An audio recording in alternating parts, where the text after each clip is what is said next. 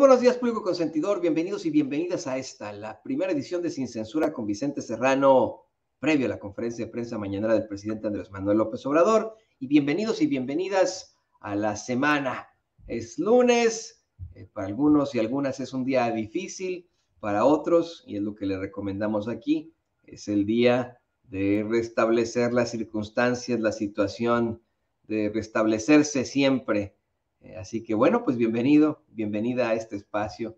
Eh, nos da muchísimo gusto estar eh, despertando con usted, desayunando con usted, trasladándonos a su destino con usted y estar ya en ese destino, estudiando, trabajando, ejercitándonos, o por qué no ya, descansando también. Mucha gente se tomó el fin de semana completo.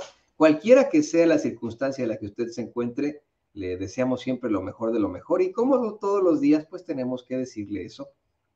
Aquí sí le vamos a presentar la noticia tal cual es, de manera imparcial, pero eso sí, con nuestros comentarios muy subjetivos, no le vamos a mentir como los medios de comunicación corporativos, que le inventan, que tienen la verdad absoluta, que tienen eh, pues el periodismo objetivo, eso es una mentira, no es cierto.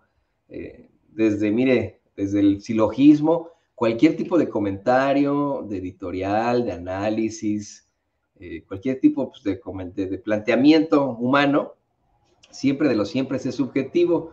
Aquí se lo decimos, ¿sí? La noticia con todo el rigor periodístico. Nuestros comentarios van a ser, eh, pues completamente nuestros, valga la redundancia, van a estar cargados de, de ideología, de, de ideales, de planteamientos nuestros, de subjetividad, se lo vamos a aceptar aquí siempre. Así que ahí está, para que no se vaya usted con la finta. Esa es nuestra realidad, pero siempre le queremos insistir en esto. Aquí, eh, pues la voz más importante no es la nuestra, es la voz del pueblo. Pero mira, antes de que vayamos a la, a la voz del pueblo, eh, o sabe que sí, vámonos directamente a eso. Eh, le, voy a pedir a, don David que nos lo vaya preparando porque insistimos en eso, ¿no? Nosotros pues podemos estar aquí con nuestro micrófono, miren, este micrófono aquí, como esas cabezas parlantes en los medios de comunicación corporativos tan, tan catarras y catarros que son, eh, pero aquí en Sin Censura estamos como menos moderadores de usted, de lo que usted plantee, de lo que usted diga, de lo que usted quiera poner aquí en Sin Censura.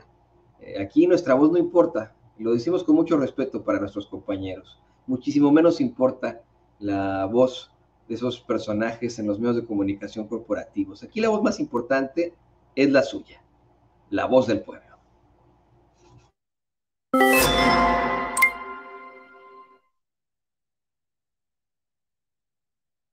Muy buenos días amigos de Censura, aquí estoy otra vez, aquí con la voz del pueblo. Ah, para irme rapidito y, y saludar a todos, a todos ustedes, quería decir esto que creo que ya sé de dónde sacó las firmas la señora Xochitl, creo, es mi punto de vista. Me imagino que a todos ustedes los que estamos en Estados Unidos y cuando vamos a México y queremos cambiar unos dolaritos, ¿qué te piden?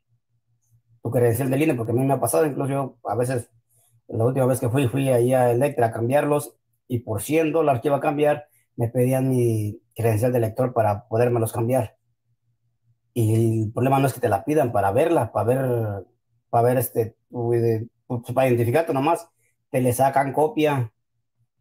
Entonces, cuando ya tienen tu información, bueno, yo primeramente pienso mal porque pensé mal en ese momento. No, no es la primera vez porque hay en, unas casas de cambio que sí te la piden, en otras no te la piden, entonces siempre ando buscando no te la pidan, porque a veces uno tiene desconfianza de que se quede tu información ahí y llegue a manos de otras personas otra información, pues tuya, ¿verdad?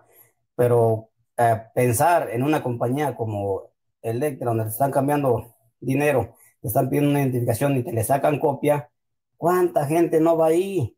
¿De dónde sacan toda esa información? ¿De dónde sacan todos los... ¿Para qué le sacan copia si están viendo tu identificación?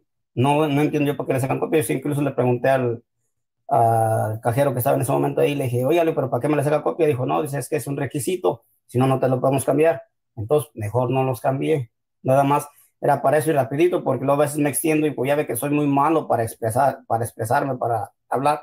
Entonces, mejor aquí los dejo y saludos para todos. Y ya saben, Por favor, a todos denle like, like, like a Sin Censura para que siga este proyecto y los que puedan, manden su super chat y pues depositar a la cuenta de ahí de Vicente, por favor.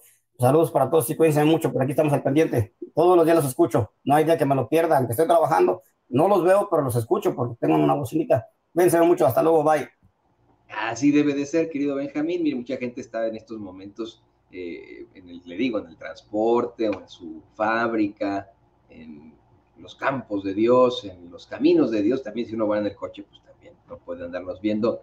Con que nos escuche, con eso es suficiente y se lo agradecemos infinitamente. Eso es lo único que necesitamos, que nos, nos escuche. Nos quiere ver, pues también aquí estamos más que bienvenidos. Y gracias por este tipo de eh, reflexiones como la que hace Benjamín acerca de las firmas de Xochil Gálvez. Le voy a pedir a don David que nos